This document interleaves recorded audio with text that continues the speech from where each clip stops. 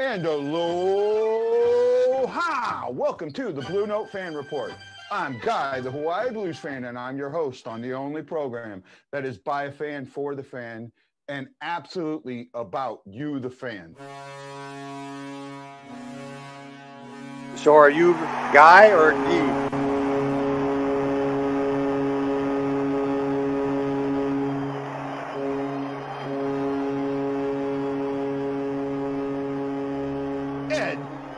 Danowski. You're you're not in Hawaii? I wish. to Mr. Gary Younger. Hi, Guy. Hey, sir, how are you? And Brock, how are you doing? Doing great, sir. Doing great. Honored to have you on the show.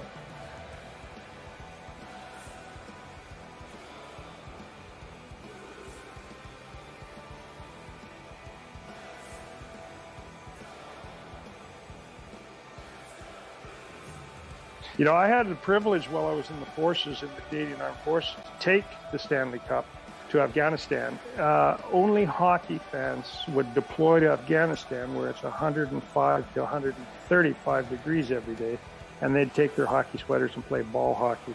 This is a year for the Leafs. The Leafs are going to win it all this year. One of the players down the line said, You got to be kidding. The Taliban got a better chance of winning the cup.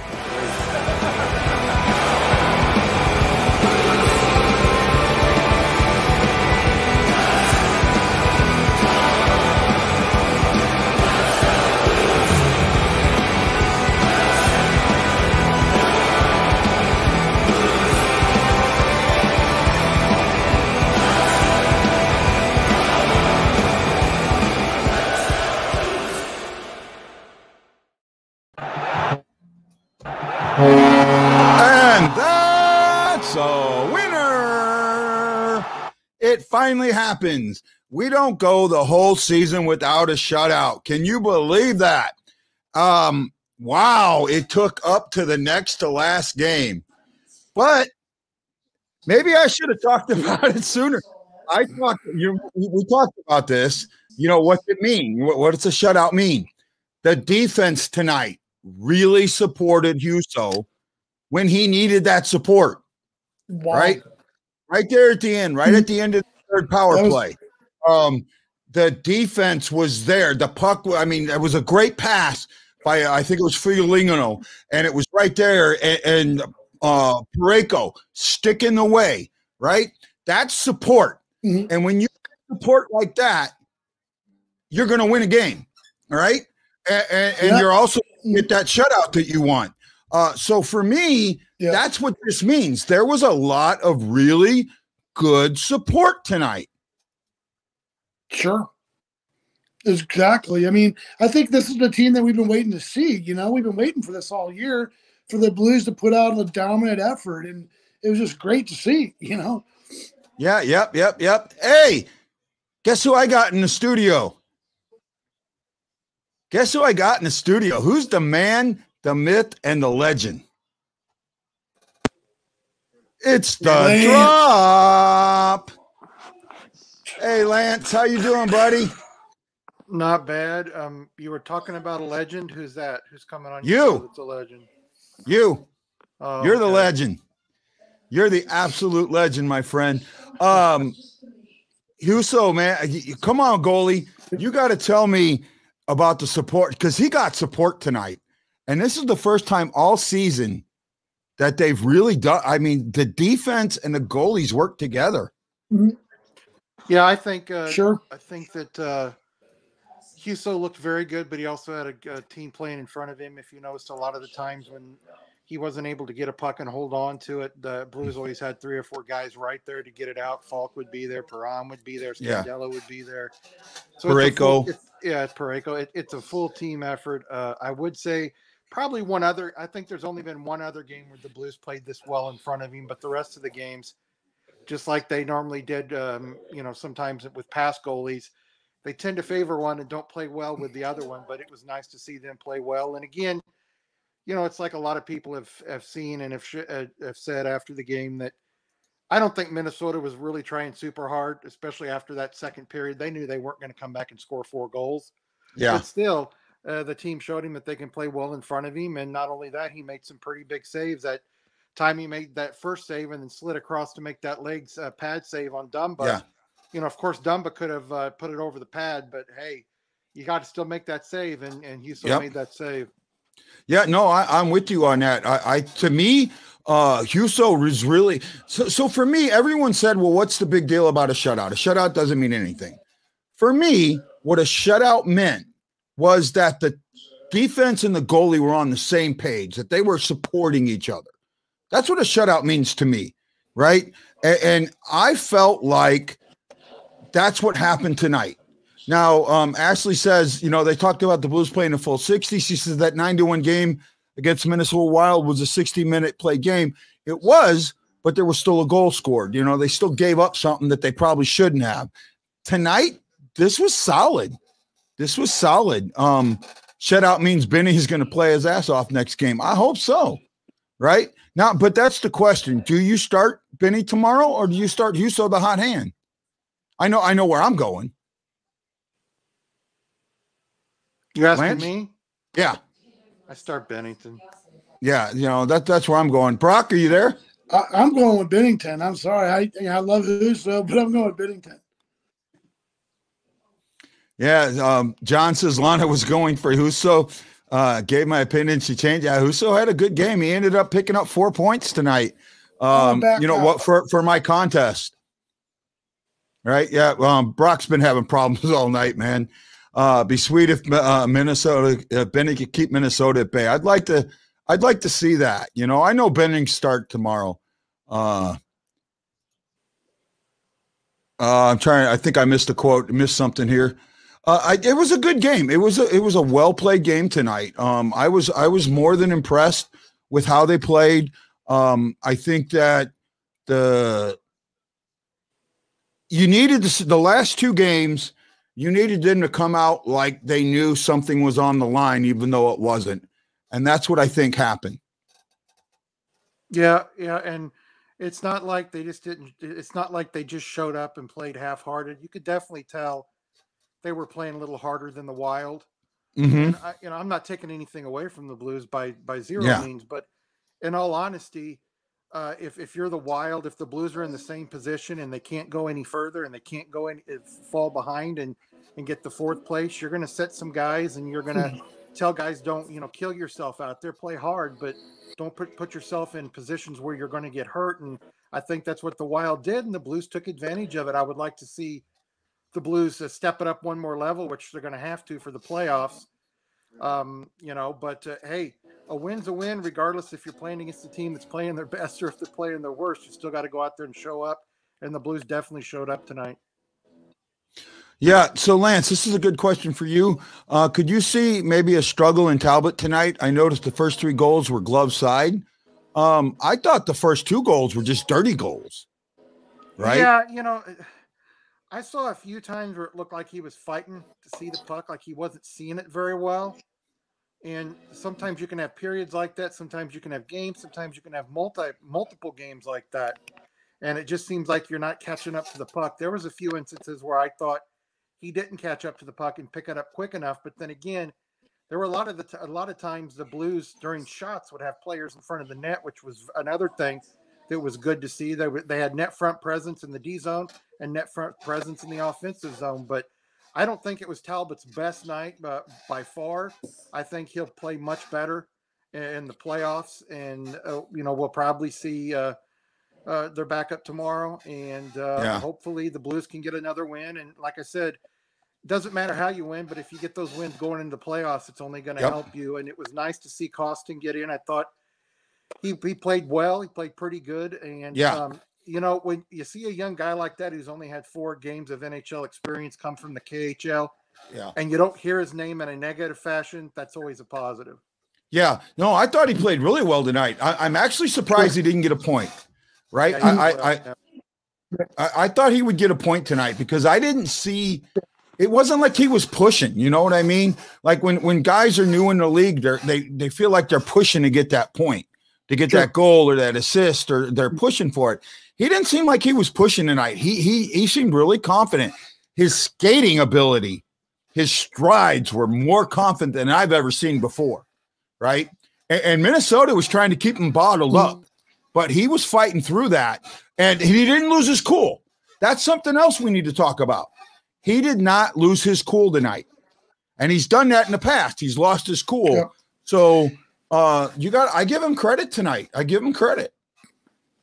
Hey, uh, hey, you guys, Yeah, Bart. real quick.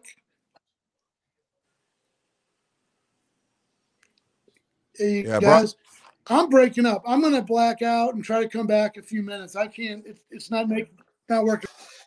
No problem, man. Yeah, Brock's having some issues tonight. Um, I, I, I'm I'm sitting here just really like happy. Um, and, and then tomorrow, like they're saying, uh, Dunn, Blaze, and Vladdy could be in tomorrow's game. Um, I think tomorrow he's playing his playoff roster. What do you think? I wouldn't. You wouldn't? No, some of these guys have put in a lot of minutes, and if if you do have them out there, uh, like a guy like Faulk, I don't put him out there for thirty minutes. I don't even put him out there for twenty five minutes. I put him out there for maybe sixteen to 18, 20 minutes, and and cut O'Reilly's time down. Cut cut these guys' time down.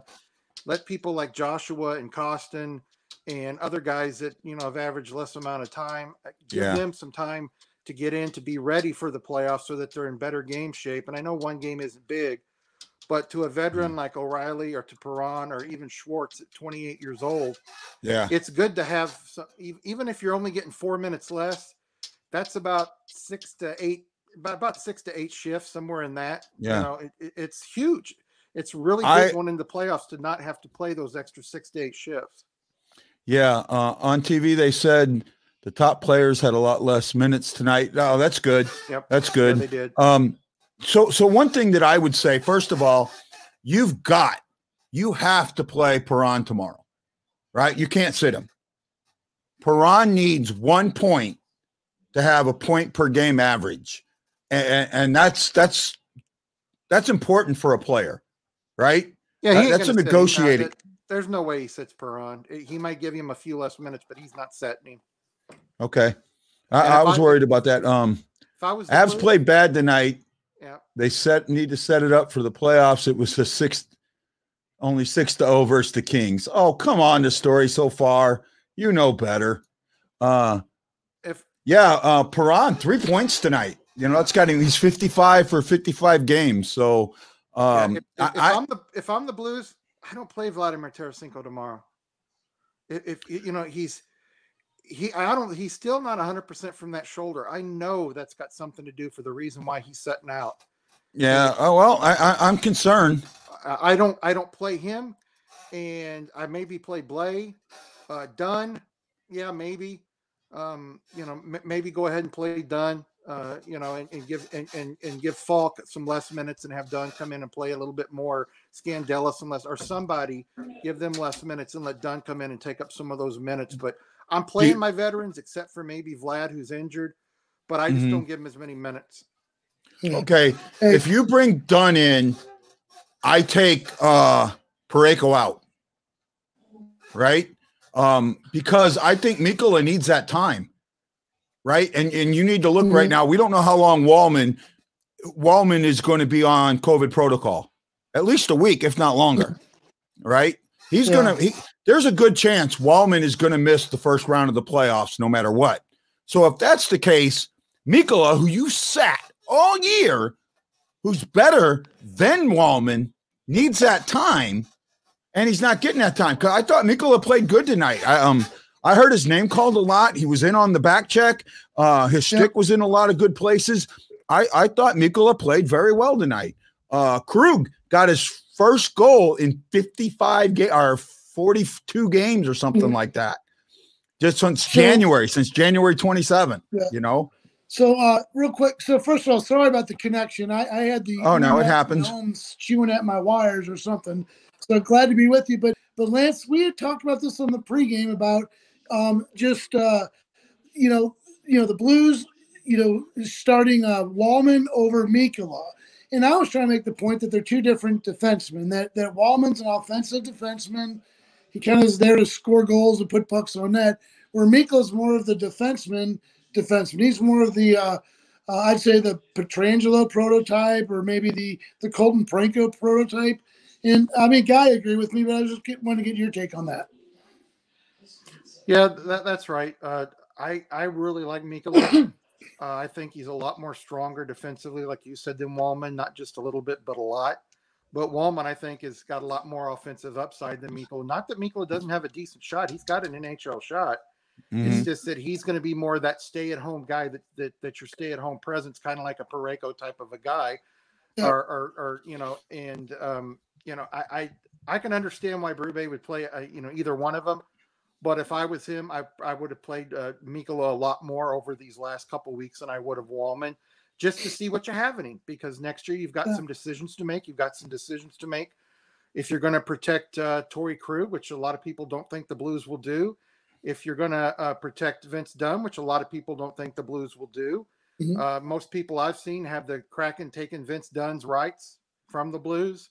So, um, you know, I, I just think that – you know, I understand why he did it. He wanted Walman to get in, you know, wants Walman to get that offensive time and everything and see him grow too. But if, if I'm if if I'm Berube, I'm putting a lot more time in on on Mikkola than I am on Walman, and that's just, so. That's just me. Can I ask you this real quick, and not to get into the conspiracy theories, but so the Kraken, you, you said they're gonna. Do you think they're gonna? The word on the street is they're gonna bring in.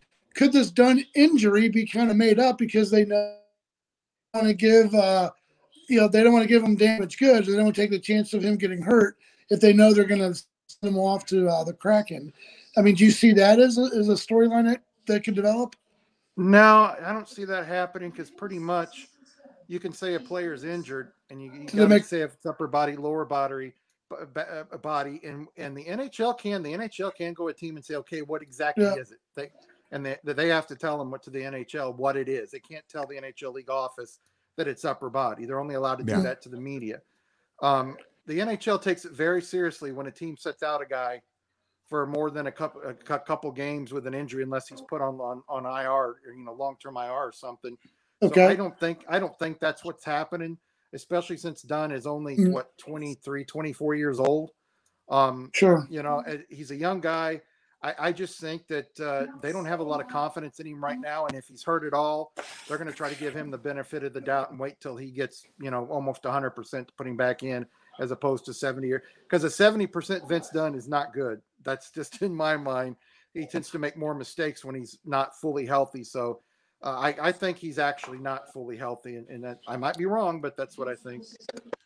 Yeah, um, I, I'm kind of trying to stay away from conspiracy theories. I'm trying to give um, really trying to give Berube the benefit of the doubt here that he knows what he's doing.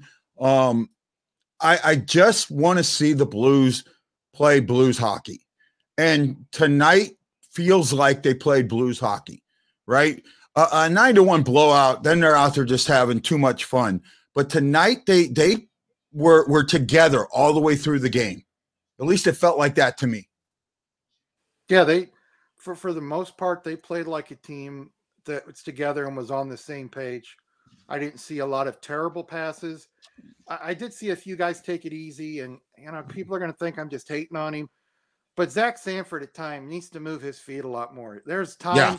he's in front of the net and the puck's close by, and he's barely skating. People get on to Tarasenko for giving seventy yeah. percent more of that effort. I didn't think that Sanford's effort was very good tonight. He looked very slow. He looked like he didn't care. And I understand it's the game before the last game of the season, but I was I was a little disappointed in his play. I didn't think he was very fluid and didn't really put out a full effort. But I think the rest of the team, for the most part, really played well together and we're really out there trying to win the game. Um, Jason says this, and I, I'm I'm not completely on board with this. I am, but I ain't. I know we aren't going to agree on this, but I want to I want to play the Avs. I feel like if we shut MacKinnon down and hit when we get the right chances, we will take them in six due to them being worn out. Uh it, it's going to be you're going to win that series on defense, and, and that's the one the one thing that I don't think the Avalanche are defensive teams. If you want a defensive team, that's Minnesota. That's uh, Vegas. right? Vegas is winning the the the Jennings Trophy for having the lowest goals against average. Um, that's that's going to be that's the team that that scares me defensively. The Avs scare me offensively. If they play a defensive game like they played tonight, yes, they can beat the Avs, but I don't know how they're going to do it. You know what I mean? Is it shut down MacKinnon? Is it um, get more get more uh oh Vince, you know what? I God. I gotta love Here- you, Vince, here- but it's Here, here's the thing. The reason that the uh, that the Knights look so good defensively, they do have some good defensemen, but you've got two guys between the pipe that are much better than average goaltenders, and that's a good reason why they are so good defensively is because of their goaltending. Mhm. Um, uh, you know, the thing about Colorado is most of their defensemen are offensive defensemen. That's that's what they have, and I'd say their first two pairings are more offensive defensemen, and and their their next two pairings are probably more defensive. But I, I think with Colorado, if you can shut down the first two lines and make the third and fourth line really play hard and really have to try to score, that's where you can beat Colorado. The the the Knights, in my mind, and people may may disagree with me. The the Golden Knights have more of a rounded team. yes, Uh, I know, agree. they're not as great offensively as Colorado, but they're very good offensively. They're very good defensively, not just because of their defensemen, but because of their goaltending. Um, I think the Knights give the Blues a much harder matchup than the Avalanche do. Um, and I will guarantee you, we're not going to see the same Avalanche team that we saw the Blues play in the last couple games. I think it's going to be a much better Avalanche team. And whoever gets the Golden Knights, I, I really feel sorry for him because I think it's going to be hard to shut that team down offensively. And if the Blues, if the Blues play them, uh, Binnington's going to have to be better and better than he was in the playoffs in 2019 for the Blues to beat the Avalanche. Yeah, I, I agree. he didn't I have agree. some great games. He can be a little more off. I'm not saying bad, but he doesn't. I don't think he has to be quite as good against the Avalanche if they can take care defensively and and play a good neutral zone type of defensive style and attacking defensive style against the Avalanche. I think it gives them a better chance to win that first round against the Avs than it does against the Knights. Okay, um, great, great point. So I got to get this out because I know a lot of people need to go to bed, got to get up early. The pick'em contest for the playoffs. Okay, I'm going to tell you how it's going to work. Similar to this one, except you will pick both games in the West. Whatever the two series are, all the games in the West will be available to pick. Now, once the West gets down to one after they're both done, me, Lance, and Brock will pick the best matchup out of the other three divisions. The uh, Mhm. North, the North, the East, and the Central, whichever matchup we think is the best, you'll pick that matchup and the West. Then when it gets to the third round, you'll pick both the one, four, two, three matchup, and then you'll pick the Stanley Cup. So this goes through no matter what, all the way through, whether the Blues are in it or not. I don't have prizes yet. I'm still working on that, but I will make sure that we get a decent prize in the hundred to two hundred dollar range, something like the Faulk nameplate. But you know, I'm still trying to get a sponsor for that. Unfortunately, I've, I've ran out of luck. But you know what? The contest is fun. We'll play it. We'll get stuff for you. Um, lots of door prizes this time coming out. Remember, every five points, you got that extra ticket. Um, if I get door prizes, it'll work the same way, but you'll pick. You got to make sure you look every day on the blue on stlfanreport.com for the form and pay attention to both games in the West and pay attention to the you know the other series. You got to be a fan of the game to win this contest. Not just the Blues this time. It- it's opened up. What do you think about that, there, Brock? I don't know if you can hear me. Lance, what do you think about that contest there, buddy? I like the way it's changed up a little bit. I think it uh, kind of adds something new as opposed to doing it the way you've done it all season. It Yeah. gives some people an opportunity to really uh, get back and uh, have a chance to win uh, prizes and door prizes. Uh, you know, if you pick two games and you're spot on or close, and you get three three or four points from each game, you're going to probably be up there and have a great chance of winning a prize. Oh yeah. Um, so I'll I'll do I'll I'll do a first, second, and third no matter what, and then I'll try and get door prizes depending on how much I can afford. Because remember, all the prizes come out of my pocket unless I get a sponsor. And, and unfortunately, Forrest Crump is not going to sponsor us for the next for the playoffs. Um, you know, nothing I can do about that. So we just keep going. Uh, no, you have to pick two series in the first round, two series in the second round two series in the third round and one series in the fourth round. Right? So it's two, two, two, and one. So in the first round, it's both West matchups. In the second round, it's the West matchup and one of the other divisional matchups. We, we haven't picked that yet. We're going to pick the one that we think is the most intriguing. And then in the third round, there's only two matchups. You'll pick both of those, and then you'll pick the Stanley Cup Finals. Um, I kind of ran it that way last year, but it didn't go really well because of a hurricane. Uh, I think with the site, it'll work much better, um, and we can do it every game, man, and, and it just makes it fun. Post game TV, post and watch comments and take any and take anything in mentally. yeah, we know how you feel, buddy. We know exactly how you feel. Uh, so, Lance, let me ask you this: um, with the Blues facing either the Avalanche or the or the Knights, doesn't matter. They're going to face one of them. What are the chances of the Blues getting to the next round?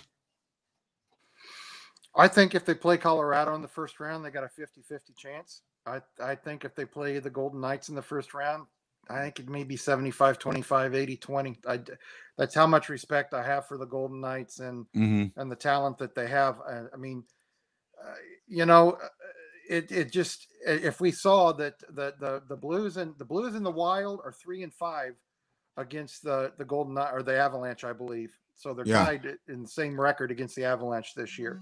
Yeah. So both teams have played the Avalanche pretty you know pretty decently.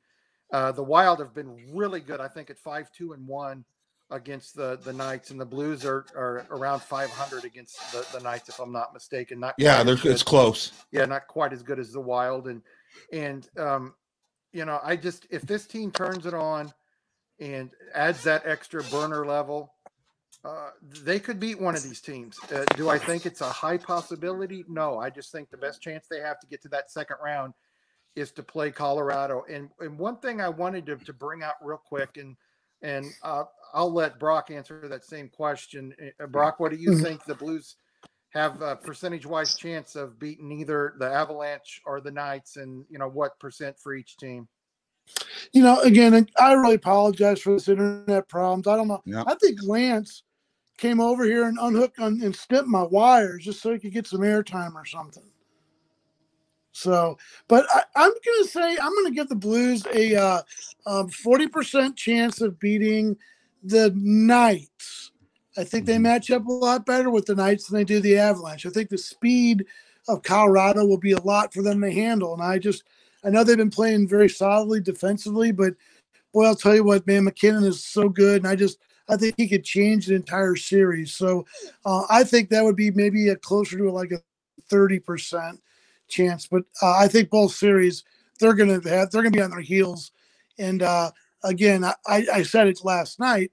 It's typical St. Louis sports. You lose the first game of the series, and then you have to play catch up the whole series, and you create your own pressure. So be nice to see them come out in a series, win those games early, and kind of take some of that pressure off a little bit. Because this team doesn't do well with pressure. They just don't, you know. Um, Oh, and, and, and, and, real quick to our Avalanche buddy there. yeah. Lost, buddy. Um, I don't, it doesn't matter to me that everybody else is picking the Avalanche in five if they play the Blues. The Blues most certainly have a 50% chance of beating the Avalanche if they get good defense and good goaltending. If they don't yep. have that, they're not going to beat the Avalanche. They're just not, they're not going to do it. And they're not going to do it if they're not going to beat the Knights. But this team, I, I think, has shown that they can play well against the the Avalanche. They can have some games where, yeah, they give up two or three goals in a period, but this team does have a system in place that if they play the system it slows down MacKinnon. It, it, it slows down all the rest of the, the guys they have. It, you know, it, it it just it's a good system to play against the Avalanche. I don't think it fits so much against the um, the Knights because the Knights are so rounded. They're good offensively, defensively. They're good defensively, defensively. They've got two great goaltenders, and they've got a good offense with Stone and and all the other guys there. It's it's to me they're just top to bottom a better team than the mm. Avalanche are. But And the thing that I, the thing I want to bring up about the Knights, and I really thought about this, is that you know they are so veteran laden. It could go both ways because we saw against the Sharks, you know, two years ago that to uh, the Blues were able to kind of handle the Sharks and, and handle their veterans by being heavy and grinding on them and, and wearing them down. And I'm wondering if that might be something that uh, could be a strategy move. Well, yeah, it, it, it, it could be, but the problem is back two years ago, the Sharks were old. Pavelski was still there. Uh, Joe Thornton was still there. Uh, Mar, you know, Marlowe uh, was. I can't believe I remember if Marlowe was in Toronto yet or if he was still there. They were an old, tire team by the time the Blues played the Sharks in the Stanley Cup year. That Yeah. no way the Sharks were going to beat the Blues. Yeah. and I, I don't I think that was yeah, the the Knights aren't that old. They may Yeah. have some veteran players, 31 to 33 years old, and in that range, but they don't have guys that are 37 to 40 years old like San Jose did two years ago. Yeah. Well, the the Avs, the the story so far, Vince keeps telling me this Alex Newhook is a stud. I, I really haven't paid attention to him, so I don't know. Does he have any goals since he's been up? I mean, if he's a stud, how many? I mean, did he score four goals in his first game? Here's my. I mean, that's a stud to me. here, here- here's my thing.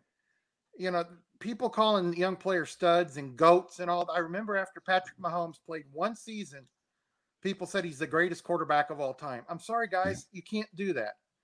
And you, it's just like Binnington. After Binnington won the Stanley Cup year, he's the best Blues goalie of all time. No, just because he won a cup doesn't mean he's the best. It means he's one that was on a team that was good enough to win a cup, and he helped them win that cup. Um, he's a good player for for Colorado, but he is he's got a couple years to, to prove to me if he's a beast or if he's a great player. Uh, you, you just don't call a guy a beast after just you know a few games. Well, I mean, how many?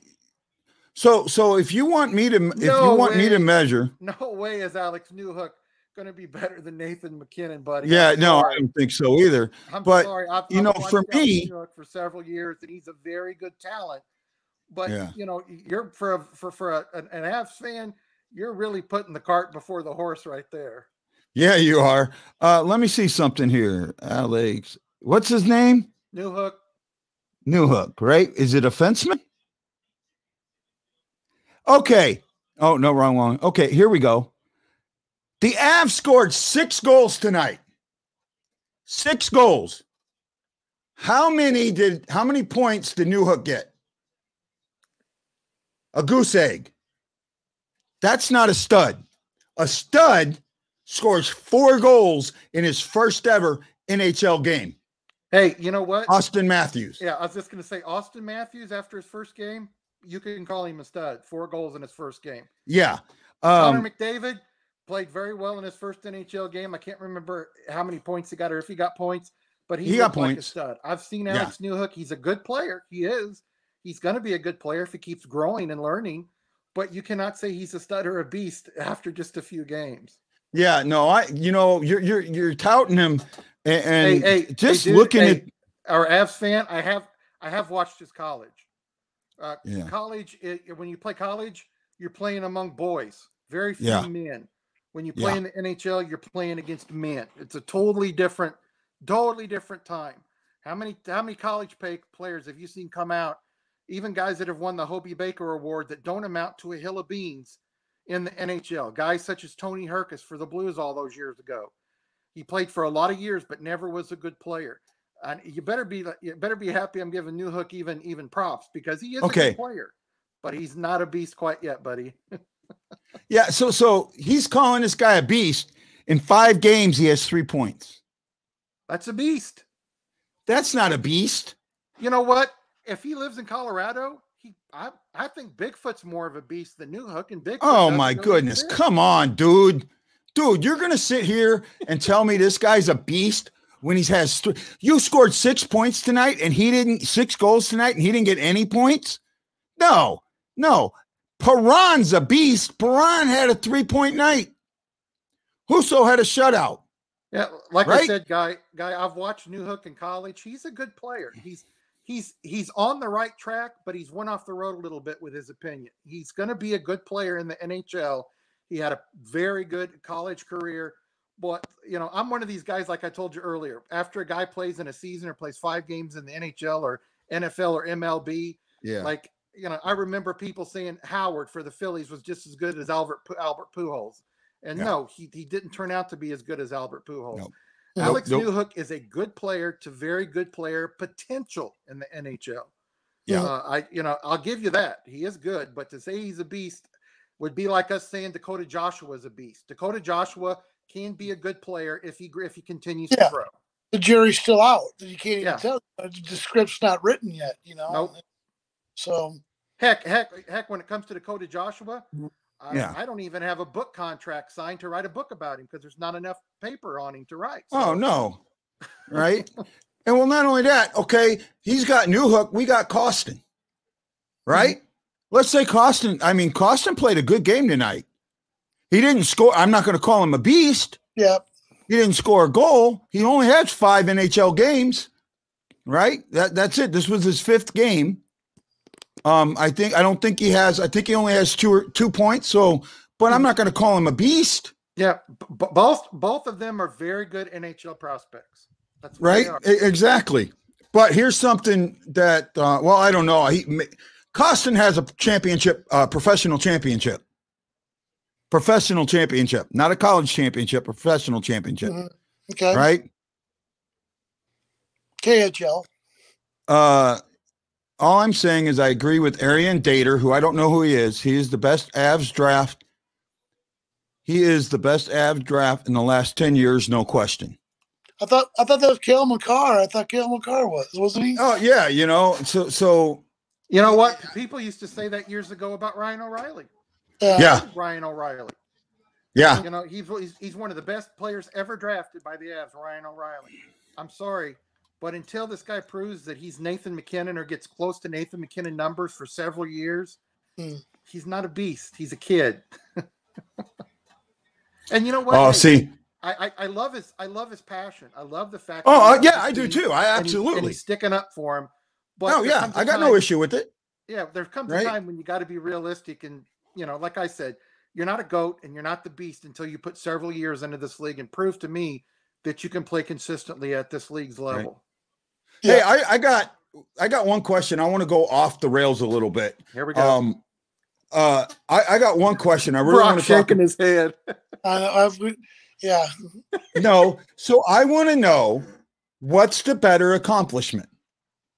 Um, McDavid's 104 points in 56 games, or 41 goals by Matthews. Uh, me, I, I'm, McDavid. I was gonna say McDavid, hundred percent, because he, you know, he he's dishing the puck off. He's you know taking the puck. he- You know, he's he's not just the scorer. He's doing a lot more, and you know that's impressive, man. 107 points in a short season. Whereas they're only playing, they're playing the same teams over and over. I mean, that's that's impressive. Yeah, it, it, it is impressive. And I do take a little bit away from both of them for one Yeah. reason. And I think if McDavid was in the in- in his normal division, he would be as almost close to that amount of points. He'd probably have 90 something. Yeah. However, I think if you put Toronto back in the East, you know, back in, in, in their mm. old division, Mhm. uh, I don't think Matthews has 41 goals. 30, 32 probably. But there's a lot of teams up north there. And I'm sorry, guys, I love everybody in Canada. Got a lot of Canadian friends. Yeah. But there's a lot of teams up there that aren't good teams. And I, I think they're both great accomplishments. I've seen Gordie Howe play. I've seen Mario Lemieux play. I've seen a lot of guys play in my time. And if somebody said you want Auston Matthews or Connor McDavid to start your team, I'm going to take Connor McDavid not nine out of 10 times. Yeah, I'm going to take it 10 out of 10 times. Yeah. I mean, people forget the Ottawa Senators were terrible. They're not the Yeah. same Ottawa Senators from two, three years ago. You know, and, Okay. and Montreal that- struggled. You know, they did. They struggled. Calgary's not real good. Yeah. Vancouver's terrible. Okay. Well, hold on, hold on. I I want to I want to throw something in here real quick. So McDavid had 33 goals and 70 assists. So his points came from other people, right? He set up other people. Some of those are just because he touched the puck, right? The second assist. It, it, it doesn't always mean that that was was a point. I look at the 40 goals by 41 goals by uh, Matthews, Mhm. a- and, I'm trying to pull things up. So I'm trying to pull his well, numbers here's- up here here's- real Here's what you got to look at, guy. If Okay. You're gonna take if you're going to take something away from McDavid for him being, you know, 70 assists because he was first or second assist, Yeah. then you got to take something away from Matthews because somebody set him up. Okay. the guy that I- set I- him up perfectly in front of the goal. Well, uh, uh, okay. I mean, but what, what I'm saying is the goal is what wins the game, No, not the assist. no, that's that's not true. Because if that was true, then you're saying you're you're taking away Wayne Gretzky's assist. Wayne Gretzky had what over 2,000 assists. Yes. You're, you're you're saying those assists weren't as important to all those Stanley Cup wins and all those wins and parts of teams that he was. And I will I will tell you, if you ask Wayne Gretzky, would you rather have your 2,000 assists or would you rather have 500 more goals and 500 less assists? He's going to say, I want those assists because Mm-hmm. Well, that I know. I helped other people to score. I, I Yeah. fully understand what, why you're picking Matthews because, hey, even in the season that it is, and even in the division they're in, that's a lot of goals for that many games. Okay. He could, I, I think, in an 82 game season, he he he's. I, I think he was a 70 goal scorer. Who? I think he Ma- Matthews. No. I think Matthews could have hit. Matthews Matthews will never sniff 70 goals in his entire career. He won't do it. I I, I will put I will I will shave my head bald if Matthews reaches 70 goals in an 82 game season. I will shave my head bald. I think. Well, okay. So no, no, no. I, I'm trying. I'm trying to to to, to, to take this in, in, in the right context. Like, And, and Here, come on now. Come Yeah. I, I, I understand I understand what you're trying to say, guy. I really do.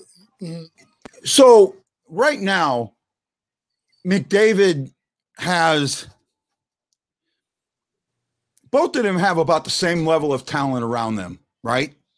Mm, uh, I think the Maple Leafs No. are tough. You think the Maple Leafs have better talent around Matthews yeah. than Yeah, than they do to bottom, McDavid? The Maple Leafs have a better four lines than the Edmonton Oilers have their four lines. Okay. Um, Now, if, if you talk about lines one and two, they're very close, very close in, in productivity and skill. Mm. It's the lines three and four that I give Toronto Yeah, the edge on. falling apart. Yeah. okay. Yeah. But I- I guess what I'm trying to get at is I, I, I don't know. Um, I guess what I'm trying to get at, I think Matthews is coming into his own now. He's a couple of years younger than McDavid, right? Um, he's shown that he's a pure goal scorer. He really has. Mhm.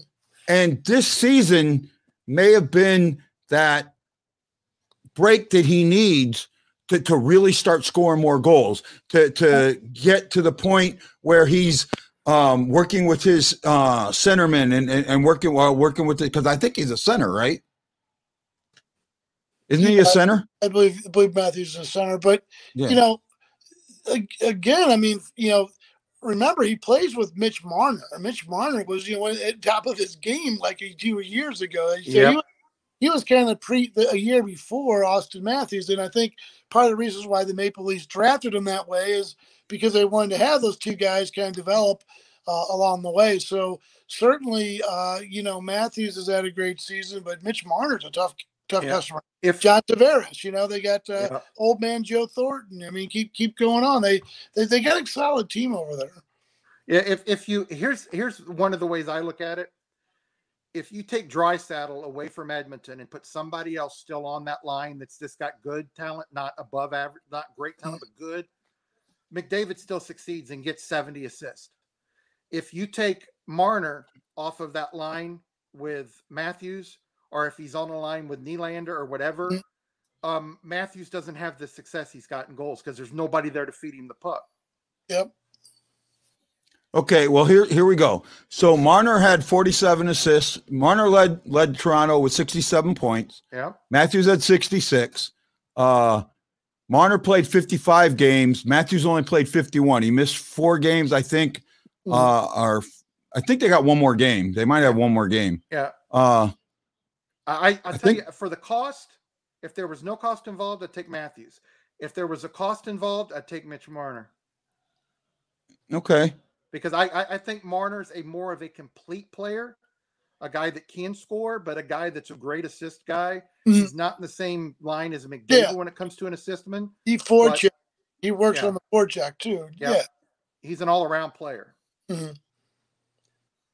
But guy, hey, Yes, hey, sir. if if if Matthews gets 70 goals in an 82 season, let's say next season, uh, I'll wish Mhm. him the best because that would be that would be I'll, I'll do that. I promise. That would be a huge accomplishment, and I'll give it to him. I'll say that he's great. You Mhm. know, and he is a very good player. He's a he's a great player in today's game. I just don't see him in a full season where guys can get hurt, and there's been some seasons where he's missed some games in a full season. And the, the type of style he plays, I'm going to tell you, Matthews. One thing I do like about him, Mhm. he's a bigger guy, and he doesn't back down from physicality. You know, he's a guy that can score, and if you push him around, he's going to push right back. That's one thing I do like ab- over McDavid. McDavid doesn't have a lot of push pushback because he doesn't have the size. Yeah. Well, here here's my question. So Toronto's got one more game against Winnipeg, who's a, who's a playoff team, right? Let's say he gets three goals and ends up with 44 goals. Does that change the conversation? Nope, Not for me. Uh, a hat trick in the last game would not change the conversation. nope. Mm-mm. Okay. Well, Well, I, I look at it this mean, way. it's 56 games. That's 26 less games, I think, than the regular season yeah. does normally. So let's let's say he's got four. Well, I'm talking about. No, hold on. I'm talking about the McDavid yeah, uh, Matthews conversation. yeah, I, yeah. right? No, it doesn't. It doesn't change my mind uh, because I've I've watched both of them since their si- since their minor league days. Uh, Yeah. They're they're they're both very good. It's just they've gotten to where they're at, taking different paths with different skill sets. Mhm. But if you want a guy that's an overall better player, overall, I'm not talking just goal scoring. I'm talking the complete package. I'd rather have a guy that scores 30, 35 goals in a 56 game season and has 70 assists than a guy that scores 41 to 44 goals with 20 assists in a 56 game season. That means he's he's making other people successful around him. Is Okay. what McDavid's doing as opposed to Matthews, who is making his team successful. And and, and you know, yeah, he's I've, Matthews has got good vision too, but he's not like McDavid. Okay, that, that's a, it's a fair point, A- and, you know, to me, to me, the if if he hit that, if if for some reason he did score four in a game again and hit that forty five mark, it, it does change the conversation in my eyes. Yeah, I'm I'm I'm what I'm going to do with this season, 56 game season. Yeah, Last year was closer, but the Blues played 72 games last year. yeah, seventy two. 72. They had ten left. I I'm gonna I count that season. A lot of people say the Tampa Bay Lightning don't deserve that because it was in a partial season. I'm sorry, No. it was almost a full season. Mhm. Yeah, I was. Yeah, so this year I'm kind of going to give everybody a blank slate to start off fresh next year. Yeah, Because you know, a 56 game season, you can have a fluke, and I'm not saying Matthews it's a fluke by any means. I'm just saying that when you have an 82 game season, you play things differently. Things are handled differently with injuries. Things are handled differently with lines, times that the guys play in a game. It's a different. It's a whole different setup. Hey, guy. yeah. I'm So, listening. real quick, I, I also wanted to uh, not to ch- change the subject, but I know we need to run some promos, but I also want to say uh, people are listening to to you know all the shows are available on YouTube and and, and you can go back and I want people to go back because you did a great interview with uh, uh, Tony Currie over the weekend. Uh, Yeah, over, yeah. Uh, the uh, the Blues was a great guy. I really had a great time with him. And uh, Lance, were you with you were with us with on that show, or I don't remember, but he was a great interview. Really uh, took it in stride. And uh, actually, he was on the show with the Vegas guy, the guy Yeah. So, but I just want to encourage people to go back and check out some of those interviews. Garry Unger, uh, Ed Staniowski. I know you got a couple others down the road. So, Oh yeah, I've I've had some good ones. I have had some good ones. and Thank you for that. we talk, So but I also want to make sure people know we have a lot about the legends too. So check. oh out- yeah, Yeah, Oh, and yeah. I, I always try to let everyone I know about it and retweet everything. And if Yeah. you're watching this, um, you know, I've had a lot of great NHL interviews over my five years as a podcaster. Uh, Guy has a lot of them too. Mike Liut, uh, Chris Kerber, uh, Garry Unger, Tony. Currie, Mm. um, you know, just a bunch of, of former Blues players. that- Panger. Panger, Mike Zuke. Yep. Uh, just great guys. All of them super nice people, not just good hockey players, but super nice people. Mm, And it, it, guys, you know, a lot of times when you see an interview on TV, it's scripted. You know, the, the, the people know what they're going to say. Guy doesn't Yeah. script things. When when those people answer those questions, it's not written down on a piece of paper. It's what's on their mind Nope. and what's on their heart at that time. And it, it's more of an honest interview than it is you see a lot of times on national media. So so try your best to check all those out. Yeah, and I can't. yeah, I appreciate it. I can't wait for the day when when Guy interviews Torey Krug and says, "Mr. Krug." yeah, I'll have you there for that one. Uh, That Uh, that would be just as good as Garry Unger saying, "Is it Guy or Guy?" It's Guy, Yeah. isn't? Yeah, yeah, uh, yeah. He, he, I, I had so my joke with him was, well, as many Canadians I'm getting, I guess it's Guy now. no, the players, uh, you know, and and, and I, I I thank you for this, Lance. My when I did my very first interview, and it was uh my my really first first interview Van Buren, right? was Tom Calhoun. Or Tom Gallo, okay. Right. Well, actually, it was myself. My very first interview was myself. You remember that Yeah. Uh huh. when I did the in the hula after the uh, blues, like my sixth or seventh episode, Yeah. uh-huh. right? I interviewed myself. That was kind of funny. But uh, the first real interview I did was with Miss Tom Calhoun, and I talked to Lance about it, and I was so nervous. And he said, "Just relax, do your research, know what you want to ask them. And I did, and it came off so. It came off like two guys drinking a beer, talking about hockey, Mhm. A- and, that's the way I've tried to do it since then. Um, I, I I always try and do it. I don't try and preset questions. Um, I tried that a couple of times, and I felt like I, I screwed myself when I did that. Yeah. I did that with uh, with um, Grant Fuhr. I had preset up questions. I mean, Grant Fuhr, I was so nervous it wasn't even funny.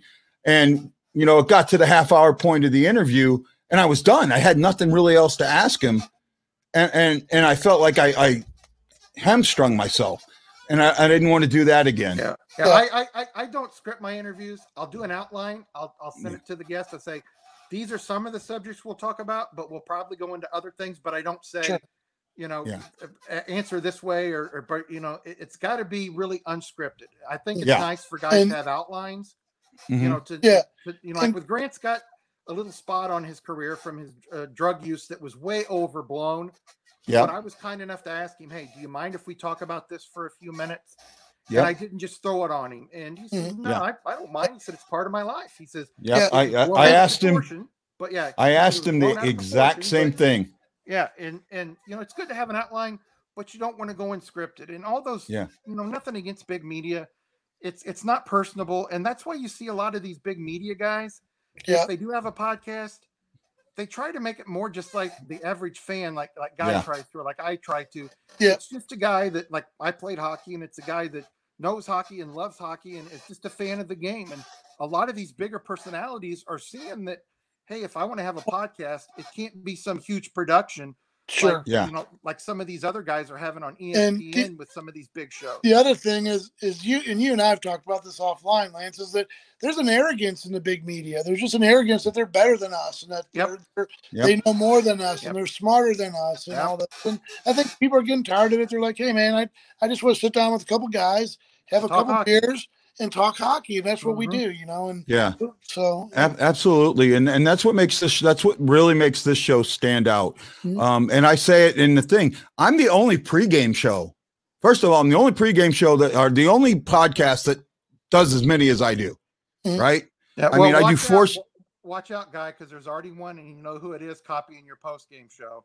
Yeah, I know, but I'm, I'm the sure only that- one I'm out sure- there. guy, the more success you have, the more copied you will be. Yep. Well, I'm I'm the only one out there doing four shows every game. Mhm. I'm the only one out there giving the fans as much of a voice as I am.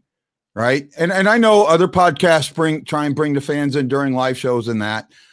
But when it comes to interviews, I, I think for for a, a podcaster, for a quote unquote local uh, amateur podcaster, I, I'm I'm knocking that out of the park. Mhm. Right. Um, you know, I, I I already have a confirmation to have Panger on again, right? Um, I I- have a confirmation to have Strickland on, Mhm. uh, possibly Cam too. So I, I've got some some good confirmation to get some guys on during the off season. And we talked about the guy from the uh, the, the guy that wrote the blues goal song, possibly. Yeah, yeah, from the urge, yeah. Yep. So so there there's a chance that that that you know so that that's some of that stuff's coming. Um, you know, all I can ask people to do is to go to the fan report every day and look to for something new. Whether because we try and put something new every day, and it doesn't always happen, but you might find something you haven't seen before. Mm, yep. Just go out there and look for check it out. You know, uh, check out the contest, check out the the different things. Um, I want to get fan of the game up much better. I want to get pet of the game. I want to get tattoo of the game back.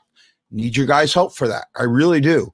I, I want to. I want the site to be as much about the fan as the show is, because you're what makes this go. Without you, it doesn't happen. You know.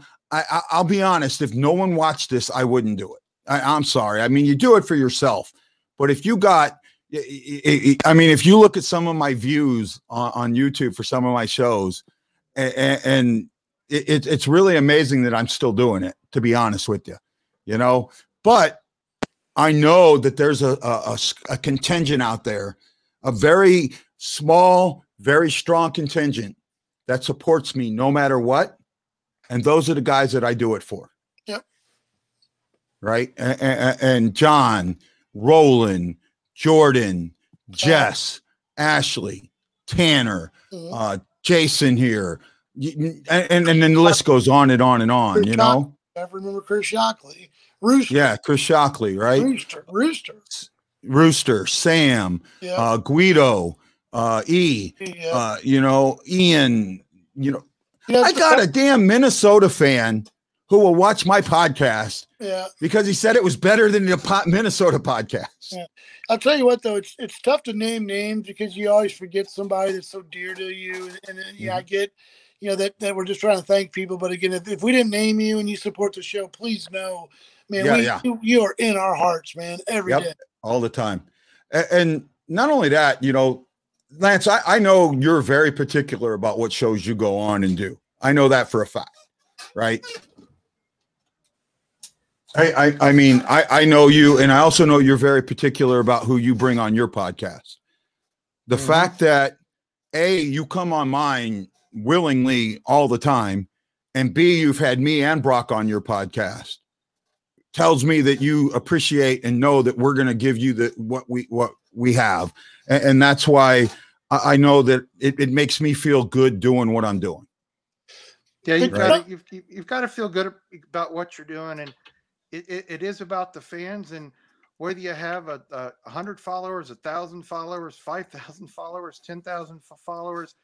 It's always going to be about the fans, and that's and that's why you do Sure. it. And if you don't get a lot of views for an episode, yeah, it upsets you because you put your heart Mm. into it. But Sure. hey, you've got those 50 people that that, that looked at it, or those hundred people, or whatever.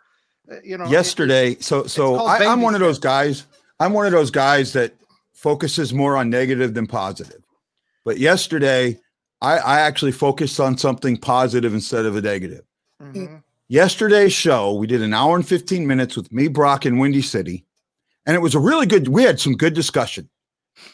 We had 245 comments on facebook or 241 on facebook. 36 views. Well, guy, let me tell that's you. That's how engaging we had people. Yeah, let me tell you something. yeah. I've watched the Blues pregame on my phone, and then watched yours Yeah. when I'm not on yours at times. yeah And the Blues pregame will have 50 or 60 viewers. watching. Uh, I've I've seen I'm- it I'm- higher I'm than that. I've seen that it. This, this isn't every game. I'm just saying Mm. that there's times where you've got 40 people watching yours, and I'm watching the other show, and they've got 50, 60, 70, 80 people, and they're a professional podcast. Yeah. And can I bring up two points here? Yeah. But I want to catch up on the other point about, you know, I think the reason why this works is that we don't compete. You know, we're, we're partners and we collaborate. We, we do this for everybody. It's not like, hey, I want I want Lance's podcast to fail so mine will do good better. Or I want Guy to go down because you know it's not like that. It's like you know we recognize that each of us has a different point of view.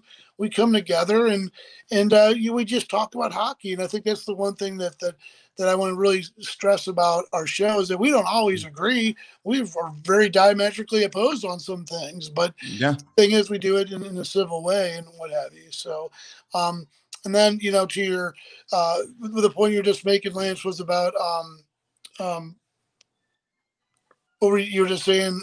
I was saying that there's times I watch the Blues pre- pregame, and Oh, considering it's a professional production, and Again, Guy's got his own little, eh, he's got To me, it goes back to that, it goes yeah, back he to does very well as opposed we're we're one. speaking the fans' language, Yeah. and they're just talking to the fans. In other words, Yeah. we're having a conversation with the fans. We're not talking down to them because I think by the time game time comes, a lot of those guys know all the stats that are going on because they've heard it on the radio or seen on TV or whatever. So I think you know maybe the you know the pregame while it's important, I think you know we give them an opportunity to to let people to weigh in on what they think is going to happen, and TV will never be able to do that. Yeah. Yep. Well, guys, we we were right at an hour. Um, I want to thank you so much. Thanks each and every one of you for watching the Blue Note Fan Report tonight. We had some good numbers, and I appreciate it. We picked up the the first intermission picked up four new viewers.